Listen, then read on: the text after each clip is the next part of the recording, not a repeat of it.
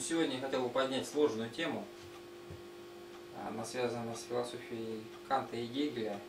Как бы на, на базе сравнения двух точек зрения Канта и Гегеля как бы делается а, некий срез, да, в котором я пытаюсь понять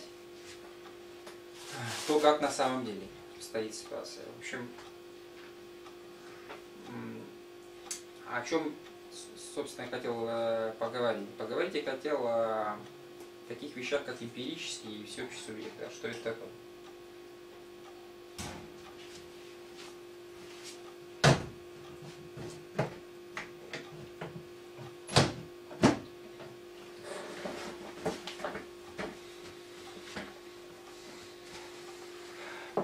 Ну, обратимся сначала к Канту.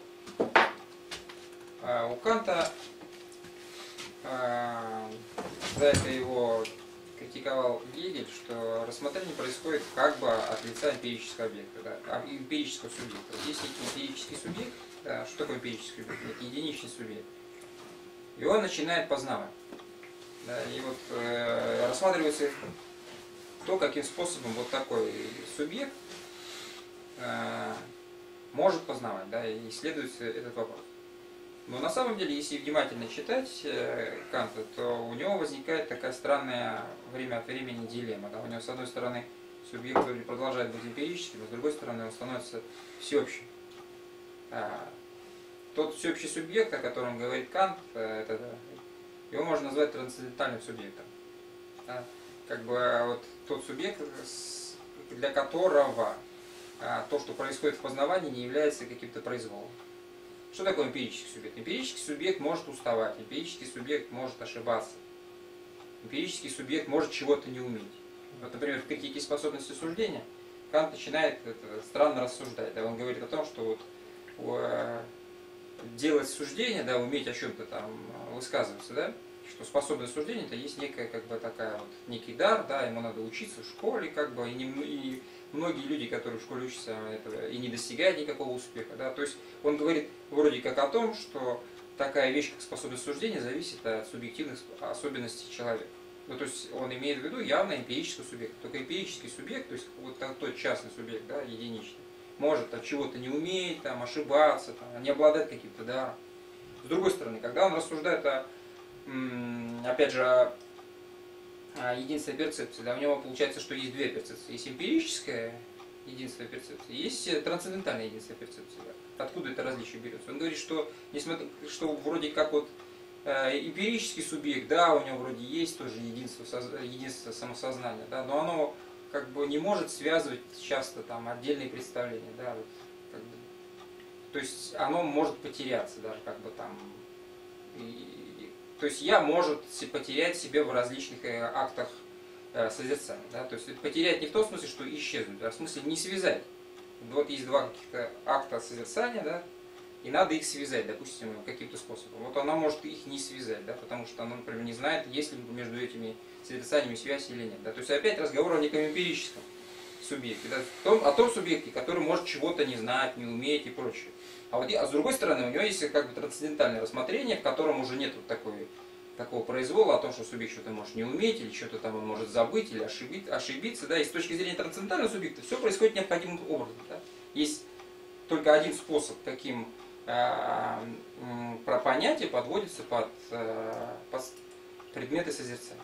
То есть единственный этот способ есть, и он как бы является неким научным способом, да, он не, не, не, является каким-то произвольным способом, а именно вот всеобщим неким способом, которым любой, любой эмпирический субъект, если он э, находится в этой сфере, да, если он является ученым, он будет именно этим способом действовать. Да, и вот, вот эта вот разница между трансцендентальным субъектом и субъектом эмпирическим у Канта не проведено четко. Да, и за это, как бы, собственно, Гегель его и критикует. В лекциях по истории философии он говорит о том, что вот критикует Канта за его эмпирическую манеру изложения. Да? То есть это можно понять именно следующим образом. Но вот уже у, у Гегеля да, так, такого произвола, да, такого как бы не, неаккуратности э, в, в рассмотрении того, какой субъект имеется в виду, у Гегеля такого произвола уже нет. У Гегеля четко.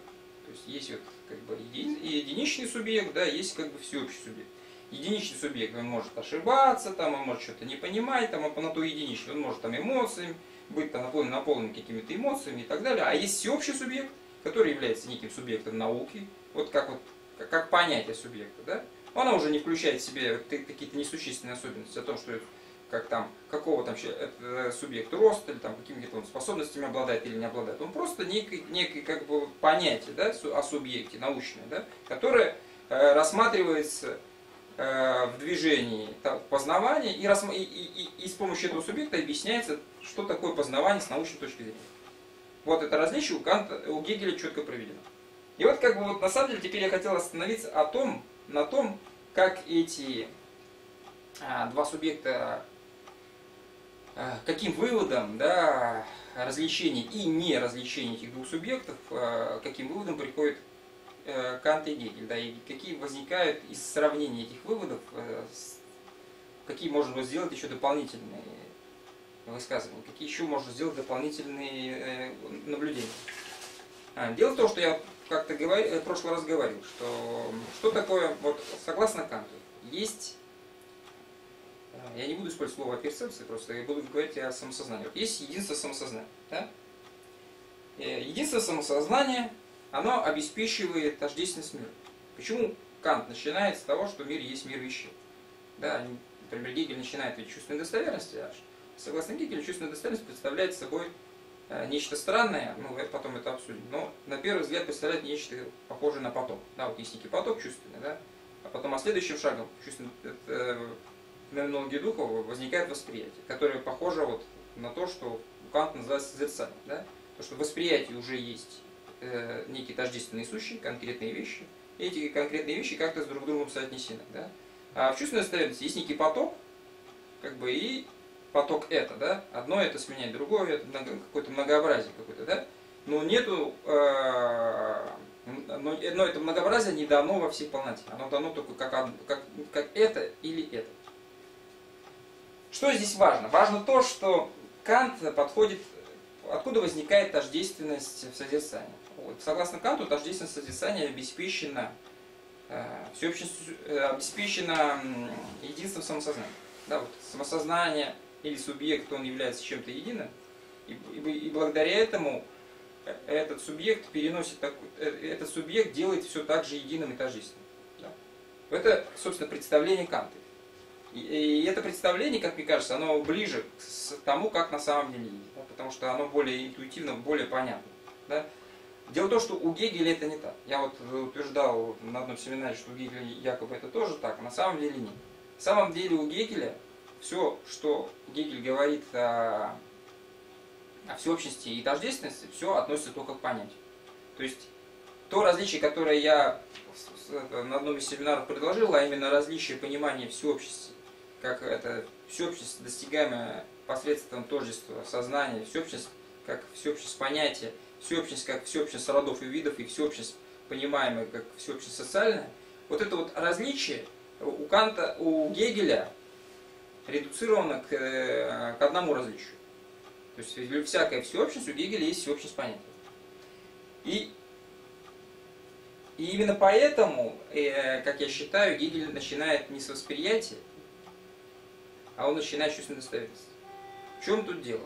Дело в том, что согласно Гегелю, это, э, у него есть у Гегеля такая скрытая предпосылка, состоящая в том, что есть некая субстанция, да, субстанция духовная. И эта субстанция духовная, собственно, познает саму себя. То есть то, что мы наблюдаем в феноменологии духа, есть не что иное, как э, способ, каким субстанция, э, познавая саму себя, проходит разнообразные многообразие форм.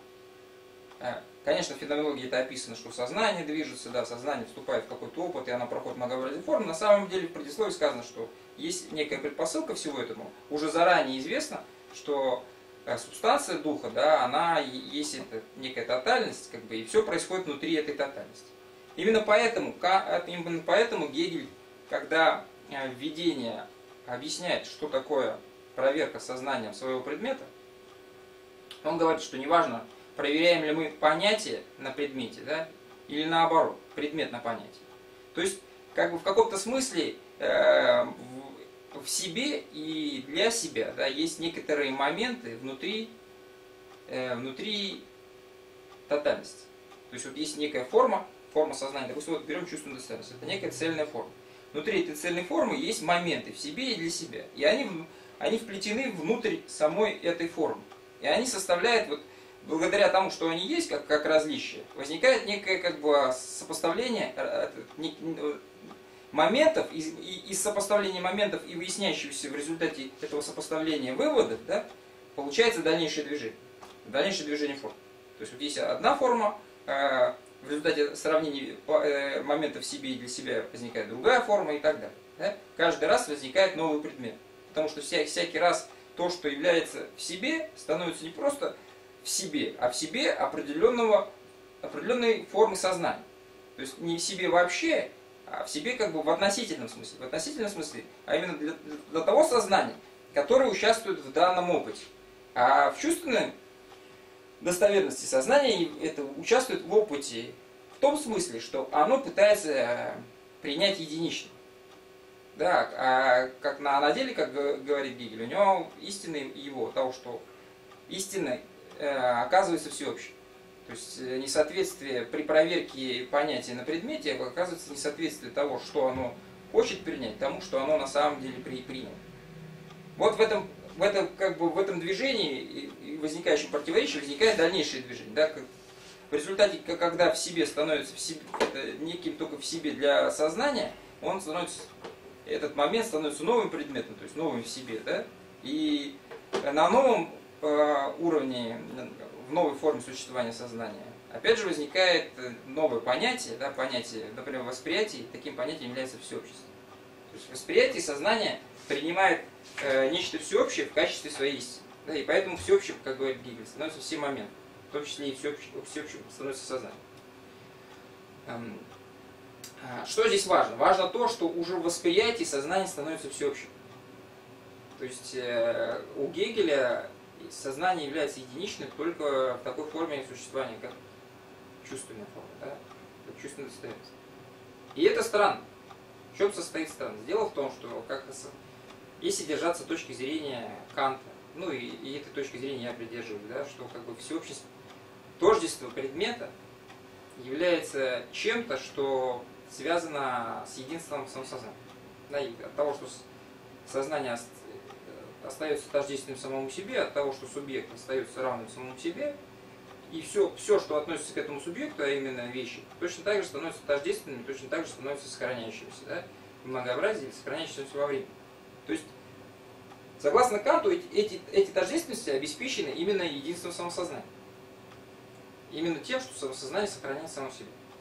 Так, э, если, бы, если это так, то не существует никакой чувственной до восприятия, никакой другой чувственной формы. Да, вот можно только предполагать, что существует какая-то хаоти, какая хаотичность, да, то, что у Гегеля обозначено как чувственный поток, из которой Э, сознание как форма да, выхватывает как, как бы тождественность и придает миру форму тождественности. То есть можно об этом рассуждать, исходя только из некого понимания того, что у, всякой, у всякого текущего состояния бытия есть некое предыдущее состояние, да, некая предпосылка. Но а, ведь у Гегель, благодаря тому, что чувственная достоверность предшествует восприятию, да, благодаря тому, что как бы поток, что такое чувственная достоверность? Это, он изображается в виде как бы некого потока, там, в соответствии с тем, как это понимали Платон и Аристотель. Да? Платон и Аристотель рассматривали чувства как нечто текущее, как, как некий поток. Да? А идеи как не, не, нечто вечное, нечто сохраняющееся да, в этом потоке. Поэтому вещи вещи, согласно Платону, являются чем-то как бы средним, да, как бы вот идея отпечатывается на, на потоке и образуются вещи. То есть вещи, опять же, согласно Канту, понимается в том смысле, что идеи удерживают эти вещи и делают из них нечто. Ну, понятно, что не бесконечно сохраняющиеся, но сохраняющие, по крайней мере, в каком-то краткосрочном периоде. Да? То есть они, э, вещи сохраняются в том смысле, что несмотря на чувственный поток, на, на них, в них запечатлены некоторые идеи. И благодаря этим идеям вещь сохраняет себя как вещь, как нечто тождественное, да? потому что она, как бы, в ней как бы светится идеей, если можно так выразиться. Точно так же у Аристотеля. Но Гегель понимает поток по-другому. Дело в том, что он заводит сюда э, странные координаты, которые э, расследуют, что такое чувственная достоверность. Какие это координаты? Он говорит о том, что чувственная достоверность это и есть некая единичность. Это первое. Да? Э, которая противоположна всеобщести. То есть есть некая противоположность единичности всеобщести. Причем эта единичность и всеобщность понята именно с позиции абстрактности понятия. То есть он говорит о том, что единичность эту надо постигать без помощи понятия. Вторая вещь. Вторая вещь, он говорит, это второе различие, которое нас сюда вводит. Есть различие э, непосредственности и опосредованности. То есть вот, есть первый некий строгий смысл, да, некое различие, которое очень четкое. Единичность и все зафиксировали. Второе различие тоже очень четкое, которое состоит в том, что в чувстве есть непосредственность, и есть некое другое состояние, которое называют опосредование.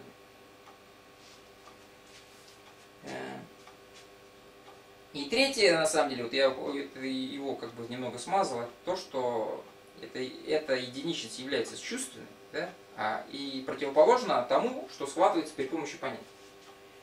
Дело в том, что эти три смысла у Гегеля связаны в одном, в одной форме, в форме чувственной достоверности. А на самом деле, как бы, это немного странно. В чем прежде всего состоит странность? Дело в том, что в чувстве, если говорить о том, как оно дано в феноменальном опыте, многообразие уже есть. Вот согласно Гегелю, многообразие не может существовать в чувстве. Почему? Потому что если бы в чувстве было дано многообразие, то есть если была не просто дано, допустим, красное, да, или дано там, это другой какой-нибудь цвет, или какое-нибудь другое какое-нибудь качество, а если бы сразу было дано это качество вместе со своими границами, если вот то многообразие, которое вот сейчас мы видим, было полностью дано, как оно дано в восприятии, да, то тогда Гегель говорит, что э, всякое, э, э, всякое сущее было бы дано опосредованно. Но действительно, если я вижу какой-нибудь один цвет, то я понимаю, на, на фоне другого, да, то я понимаю, что я могу размышлять о том, что это нечто дано, а, может быть, можно о нем говорить о том, что оно дано опосредованно по отношению к контексту. Да, если есть одно, и оно дано на неком контексте, то всегда можно между одним и контекстом да, построить некую опосредованность. Э, для Гегеля это такая вещь неприемлема.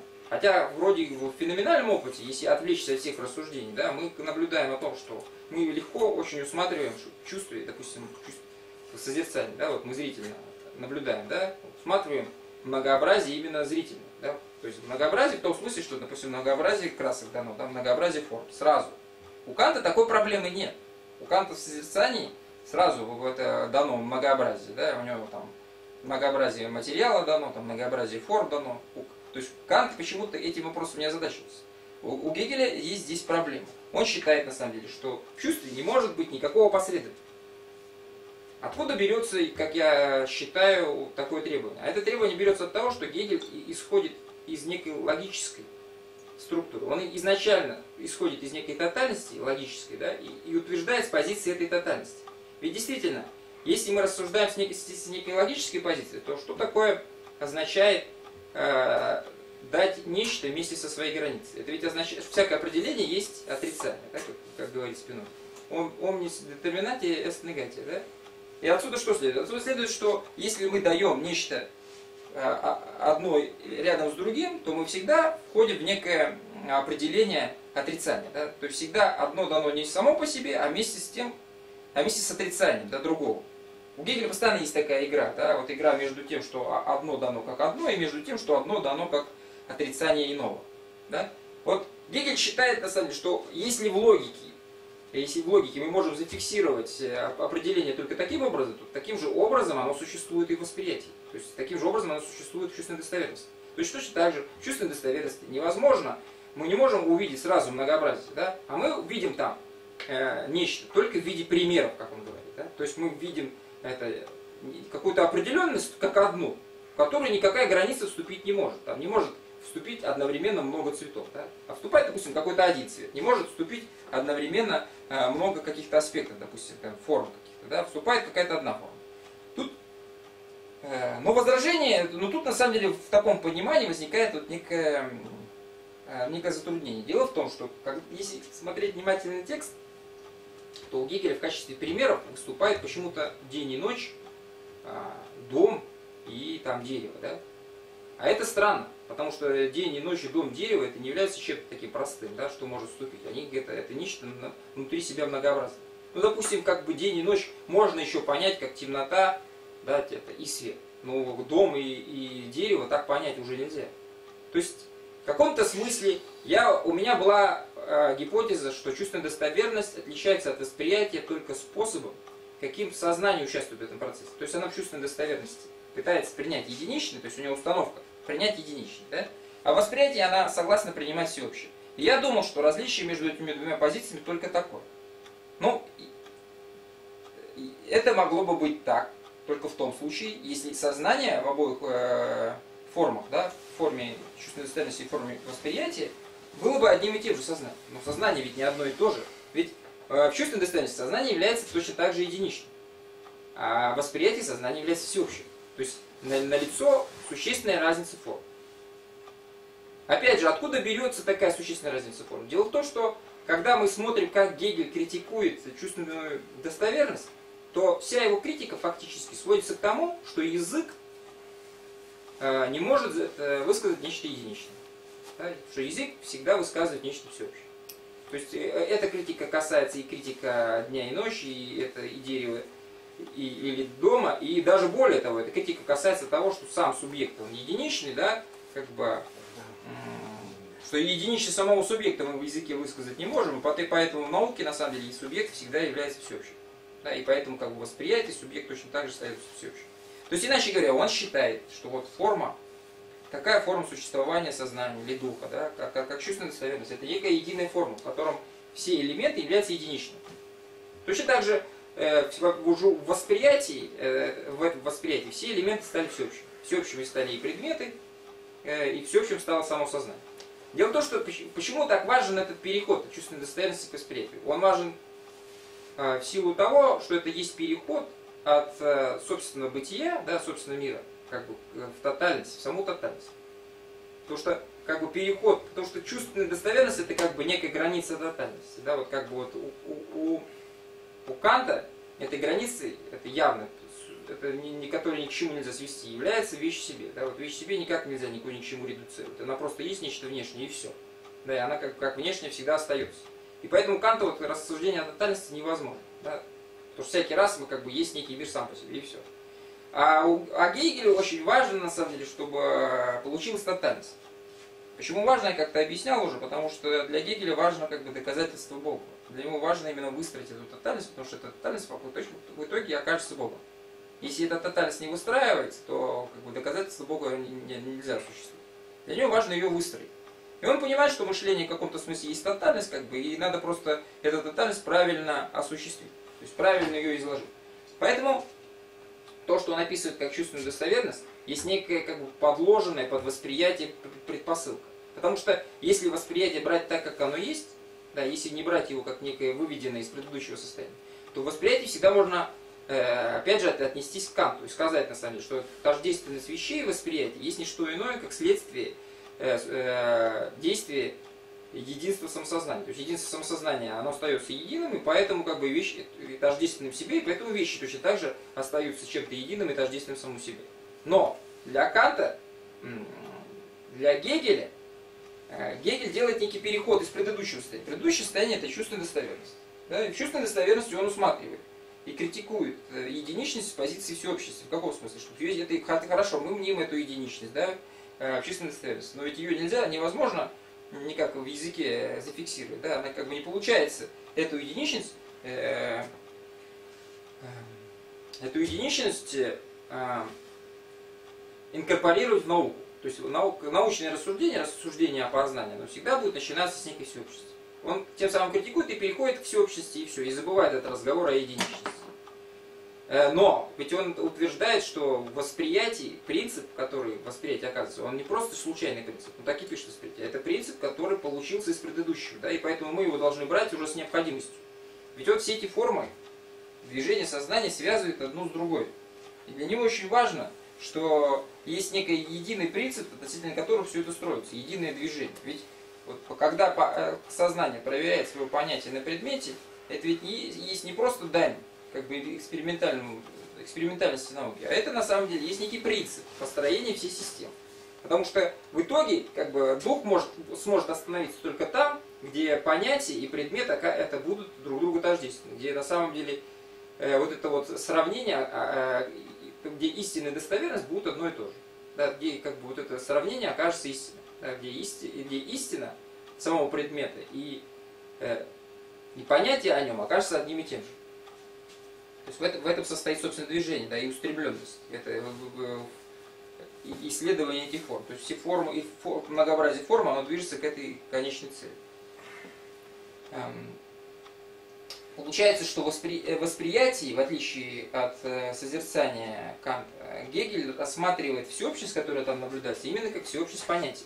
Что как бы любопытно. Получается, что э, почему это опять же важно? Потому что для Гегеля это важно, потому что он выстраивает некую целостную тотальность, тотальность мышления. И поэтому как бы вот, э, он косвенно здесь, да, неявно критикует Канта. Мне кажется, на самом деле, что это есть некая а, не ошибка, а некое как бы упущение Гегеля, да, потому что Гегель же очень, очень вообще гегельская философия очень сильно опирается на философию кантовскую. Да, и то, что Гегель на самом деле не замечает вот здесь такого перехода, я сомневаюсь, что это сделано случайно. Я думаю, что в этом есть некое, некое намерение а именно намерение проскочить э, восприятие и, сделать из него нечто всеобщее, нечто, что рассматривается с позиции абстрактности понятия.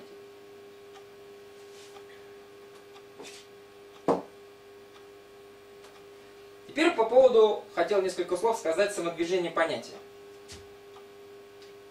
А, том, что это сложный вопрос, как, как может понятие двигаться. В чем состоит проблема? Проблема состоит в следующем. Если, вот, опять же, говорить об Платоне Аристотеле, у нас Раньше потоком или как бы чем-то движущимся всегда было то, что мы фиксируем чувство. Да? Мир, мир как-то двигался, вот он, все, что чувственное, э, чувственно воспринимаемо, оно находится в неком движении, там, изменении и прочее.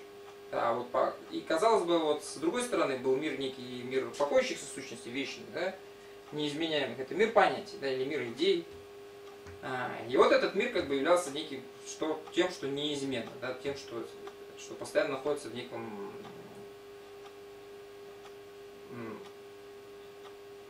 постоянно находится в неком вечном состоянии, да, это неизменяемом состоянии. Но Гегель почему-то эта ситуация не устраивает. Почему он, устра... почему он говорит о том, что истинно есть самодвижение понятия? Откуда вообще берется такое, такая интуиция? Да, казалось бы, зачем это нужно вообще? Дело в том, что я уже говорил об этом, что Гегель выстраивает свою философию своего рода как э, подпорку для своей теологии. Да, и мне казалось, что, ну, как бы, иногда мне казалось, когда я читал Гегеля, что это все-таки, что это высказывание является, ну, упрощением позиции Гегеля, да, слишком, слишком сильным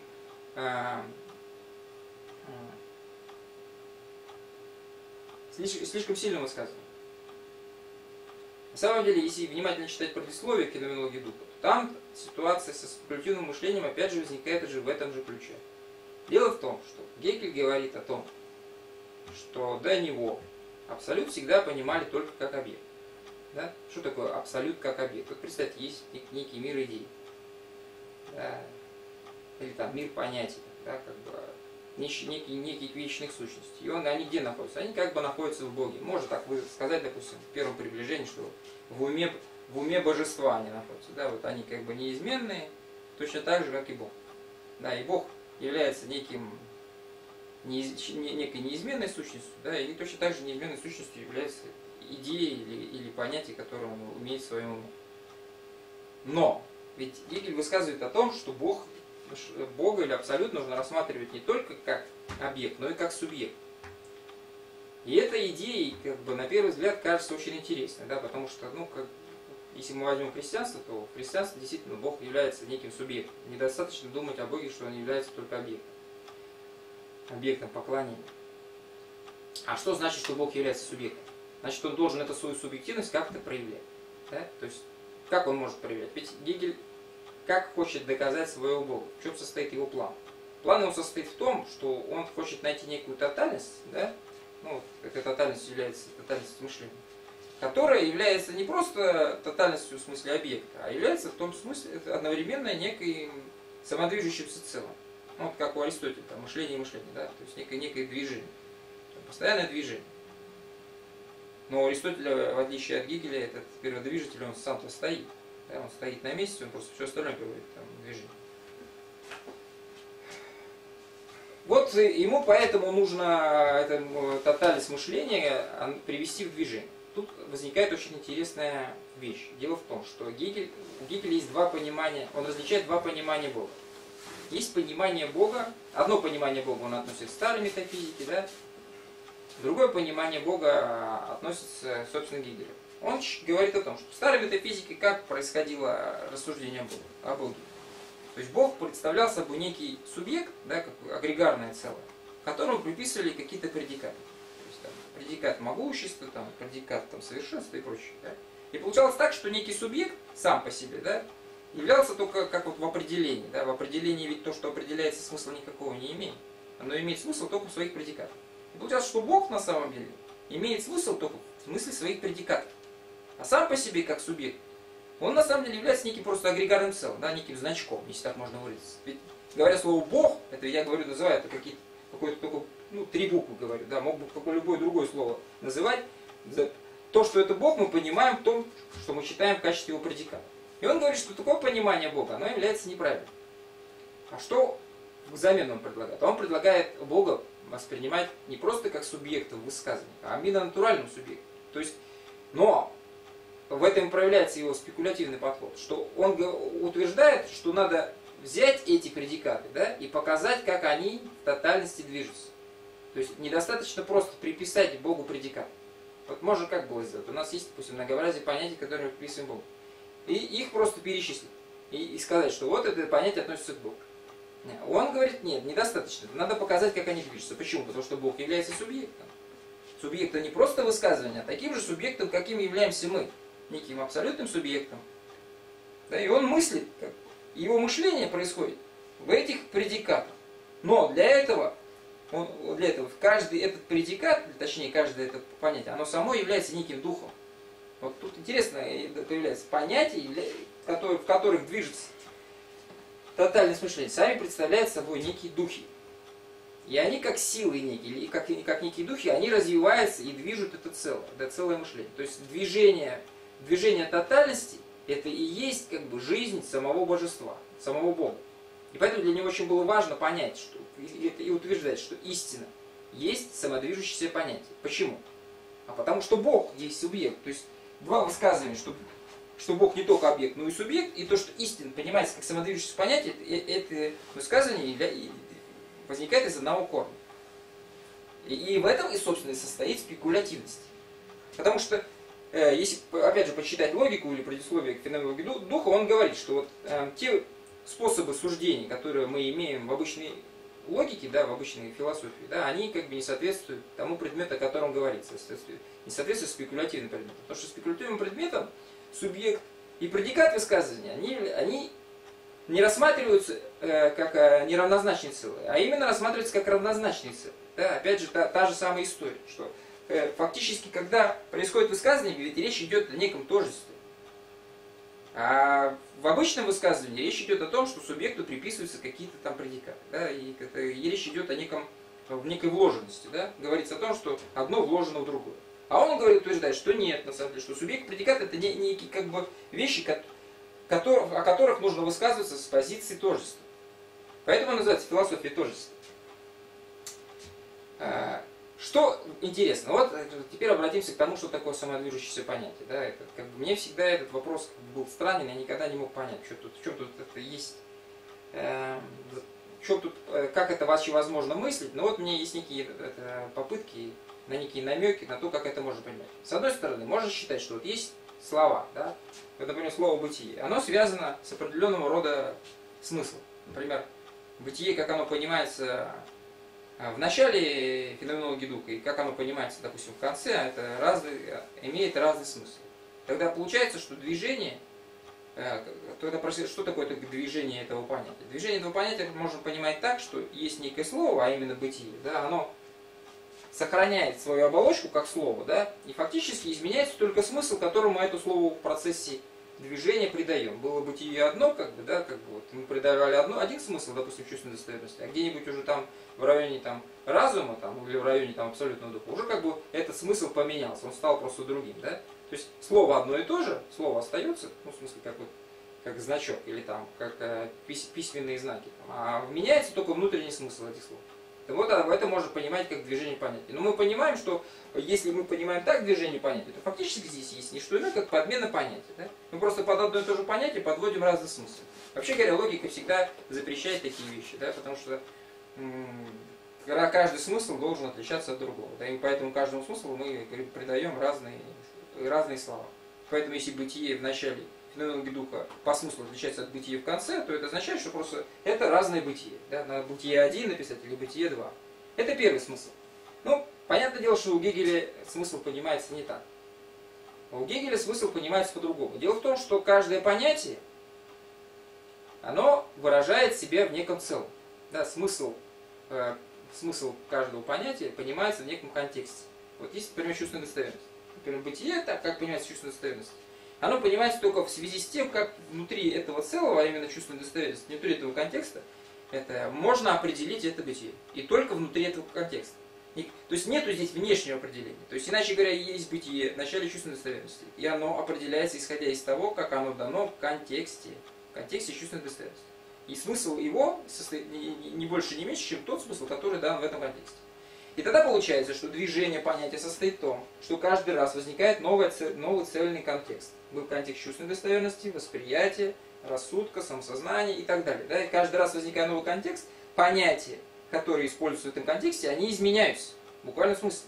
Потому что получается, что их связывает что?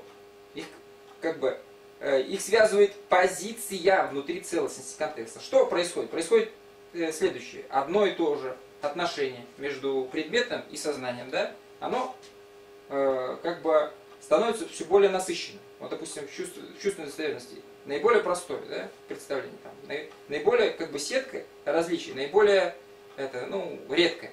Потом возникает восприятие, сетка усиливается, да, благодаря тому, что возникает многообразие. Возникает рассудок, еще усиливается. И каждый раз, когда сетка, разрешающая сетка понятий усиливается, каждый раз это вот бытие высвечивается все сильнее и сильнее.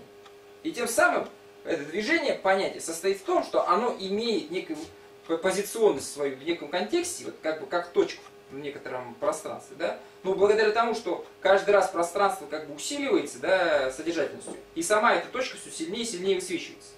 То есть движение понятий в этом смысле есть не что иное, как на самом деле э, обогащение смысла за счет того, что каждый раз контекст нарастает контекст.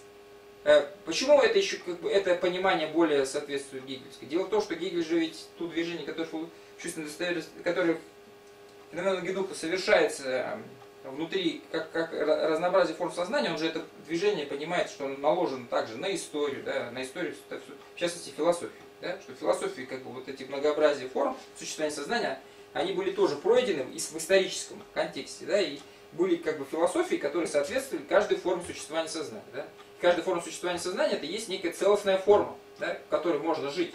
Как бы целостная философская форма. Э, и поэтому у, у него же как, он же как рассуждает о том, что дух проходит многообразие этих форм, он движется в историческом процессе, и он сам себя понимает.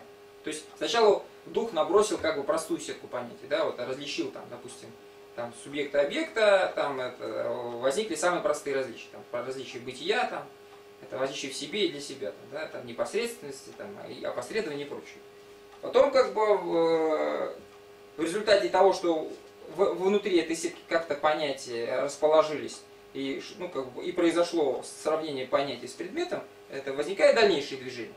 И вот это дальнейшее движение, оно что делает? Оно на рамку уже вот этих существующих различий, оно вносит еще новые различия. Эти новые различия, которые в одной той, в той же цельности, ведь речь идет о тотальности, опять же. Ведь тотальность не выглядит так, что как бы вот как некое пустое пространство, в котором многообразие форм просто набросано. А тотальность выглядит так, что одно и то же отношение, а именно субъекта и объекта, да, оно просто каждый раз обогащается. Оно, оно как бы и есть то, что есть.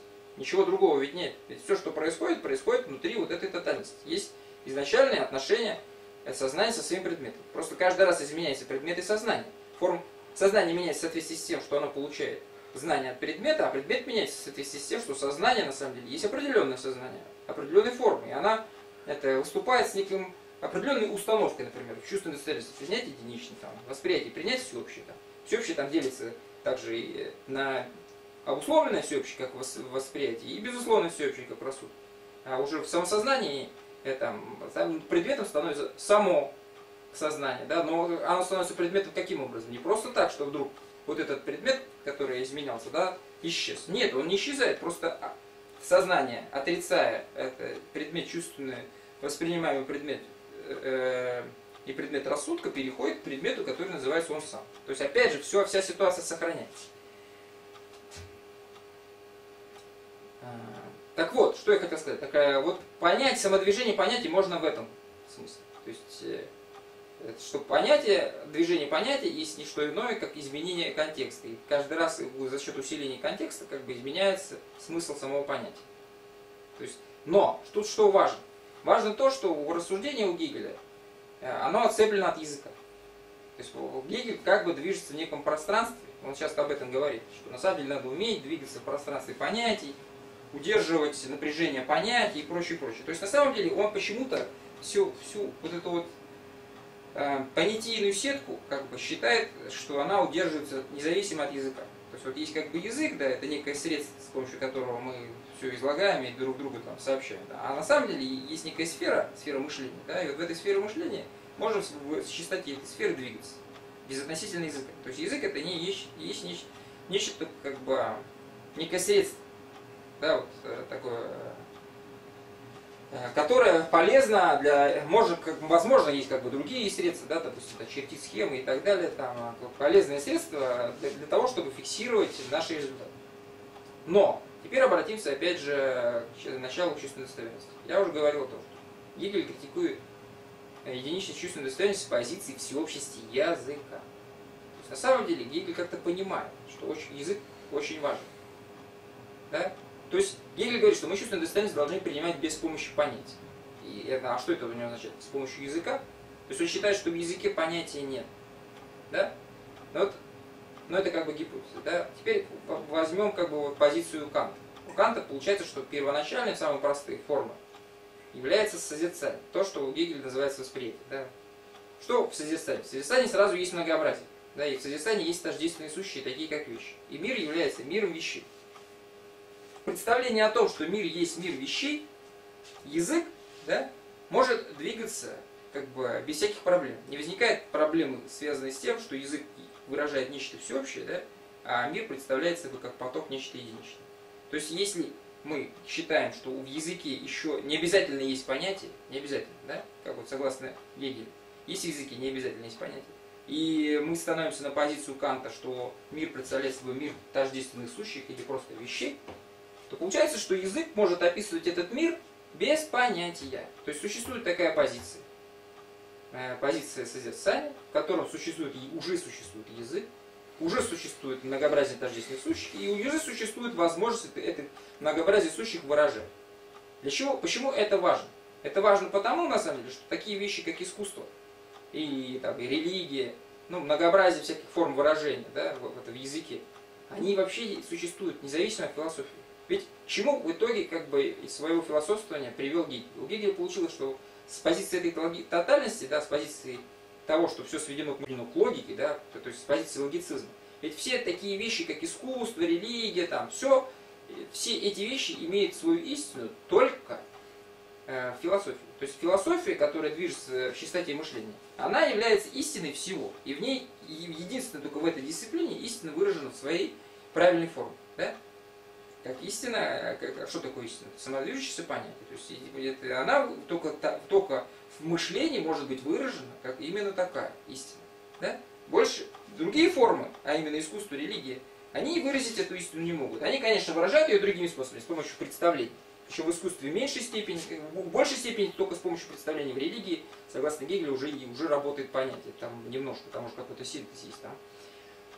Но если мы становимся на позицию Канта, да, если мы считаем, что мир есть мир вещей, и язык может без помощи понятия этот мир описывать, да, как происходит, собственно, у Канта, да, то получается, что искусство и религия, они ничем не обязаны тому, что мы, истина, их истина, да, или истинный мир должна выражаться обязательно через мышление. Возможно, существуют другие способы выражения истины, допустим, в поэзии, там, или там, в искусстве, там, вот, э, архитектура свою истину выражает, там, искусство, свое, э, искусство ну, там, художественное искусство, там, свою выражает, поэзия свою выражает, там, там, религии, различные религии свою истину выражают. Нельзя все это редуцировать к единству мышления, то есть не к некому, как бы, некой тотальности. То есть, э, э, я все как бы веду просто к своей теме, к теме того, что вот есть фундаментальное различие, да, различие между сознанием и мышлением. Я просто с разных сторон пытаюсь к этому различию подойти. Вот, в частности, сейчас я подошел к этому различию с позиции э, сравнения чувственной достоверности, сравнения феноменологии духа Гегеля и критичества разного Канта. Да, как бы пытался понять, это, как соотносится представление о том, что такое мир, как, собственно, происходит это э, э, познавание. Да? Как возникает понятие? Ведь у Канта, ведь опять же очень важно, что вот в созерцании еще понятия нет. Э, это можно объяснить простым способом, да? что Кант говорит о том, что нет никакого созерцающего рассудка. Кант говорит о том, что вот если бы у нас был созерцающий рассудок, нам такую вещь, как созерцание, вообще было бы не нужно. Но у нас э, э, созерцание всегда чувственно, да? а рассудок только мысли. И вот это вот как бы замечание говорит о том, на самом деле, что в созерцании у него, в принципе, может, можно обойтись без понятия. То есть получается, что Кант в этом отношении более точный, чем Гегель.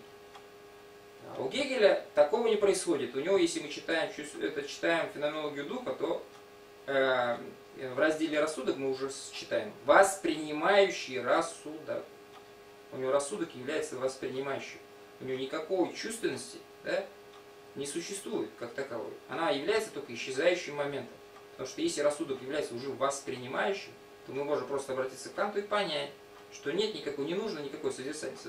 Что вот это вот чувственное нечто, да, это есть нечто излишнее, это нечто ничтожное. А вообще никакого значения не имеет. А что сразу, изначально, Гегель делает свой ход, что все уже заранее у него дано в качестве предпосылки, как всеобщее. И он от этого всеобщего отталкивается.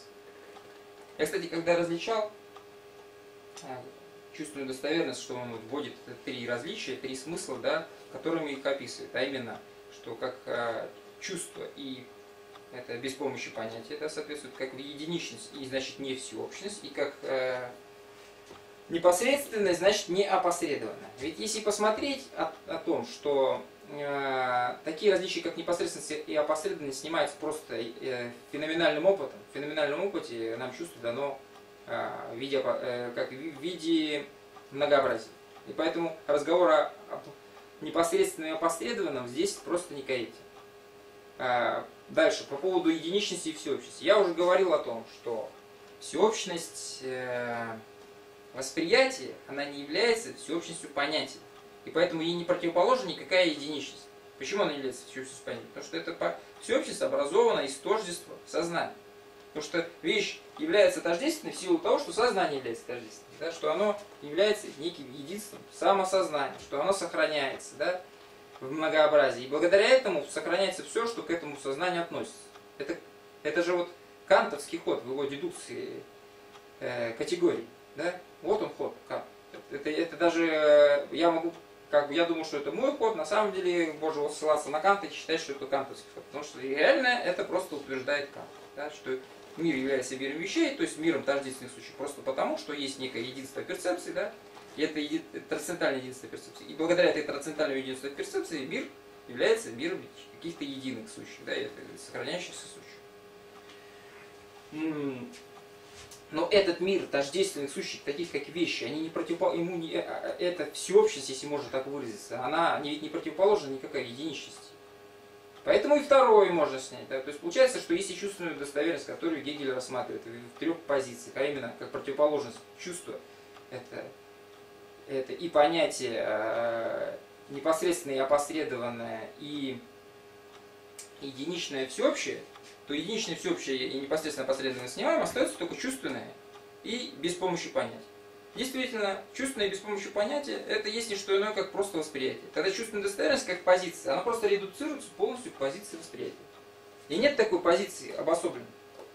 Есть сразу, феноменология, феноменология духа должна была бы сразу начинаться с восприятия. Но если феноменология духа будет начинаться с восприятия, да, то тогда на самом деле то та всеобщность э, предмета, а именно тожество предмета самого себе, которое образовано благодаря тому, что сознание само себя сохраняет, эта всеобщность не будет являться всеобщностью понятий. И никакой тотальности мышления установить не удастся. Потому что будет, по крайней мере, два способа, э, две, две тотальности. Будет тотальность чувства, которая дана под всеобщностью, под, под тождеством, да, и тотальность мышления, которая дана под абстрактностью понятий, да, под, тождеством, под тождеством, связанным с понятием. Тотальность не образуется, да, и отсюда, значит, получается, что и Бога вроде нельзя доказать. На самом деле здесь есть хитрый ход, который как бы можно подсказать Канту, э, Гегелю. Дело в том, что Гегеле, у Гегеля есть два проекта, как я понимаю. У Гегеля есть проект, связанный с сознаниями, другой проект, связанный с мышлением. Вот вначале он написал феноменологию духа, и, и персонажем, который там выступает, самое главное, является сознание, все формы э, существования сознания. Да? Вначале он считал, что как бы вот надо, как, бы, как мне кажется, опираться на сознание. Но в итоге вот в философии в энциклопедии философских наук у него главным персонажем является мышление. И это различие очень важно. Дело в том, что тотальность ведь существует только тотальность сознания. Причем это тотальное сознание не надо понимать психологически. Не так получается, что рядом с этим сознанием существует некий бессознательное или неосознанное. Да? Под тотальностью сознания понимается просто субъективность как таковая. Да? То есть существует только то, что, что дано некому субъекту. То есть э, Э, соответственно, не существует э, субъекта без объекта и объекта без субъекта. Вот под этим, в этом смысле существует тотальное сознание. То есть сознание это есть нек, нек, нек, некое я или некий субъект, некое самосознание, да? Причем эти все термины обозначают одно и то же. Тут я просто сейчас уже времени нет объяснять, почему как бы сознание и самосознание это одно и то же, а вот у Гегеля, допустим, сознание стоит в начале, э, э, в начале феноменологии, и, и самосознание только возникает потом, да, как, как будто бы никакого самосознания в начале не было. На самом деле, если внимательно читать, самосознание всегда есть с самого начала. Просто оно вначале есть в себе, а потом оно просто э, становится для себя. То есть изначально сознание всегда есть самосознание. Никакого сознания без самосознания не существует. Сознание всегда есть самосознание.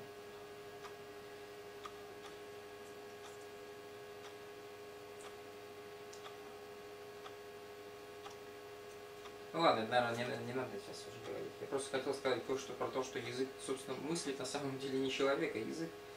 Сейчас я подумал, что это я не готов уже. Ну хорошо.